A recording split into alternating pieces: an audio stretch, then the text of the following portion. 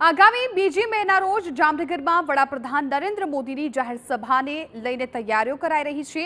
પીએમની સભાને લઈને વિશાળ ડોમ બનાવવામાં આવ્યો. વડાપ્રધાન નરેન્દ્ર મોદીની સભાને લઈને પાંચ સ્તરીય સુરક્ષા વ્યવસ્થા ગોઠવવામાં આવી. વડાપ્રધાનના આગમનને લઈને ચુસ્ત સુરક્ષા બંદોબસ્ત ગોઠવવામાં આવ્યો. એડીજીપીને સભા સ્થળનું નિરીક્ષણ કર્યું.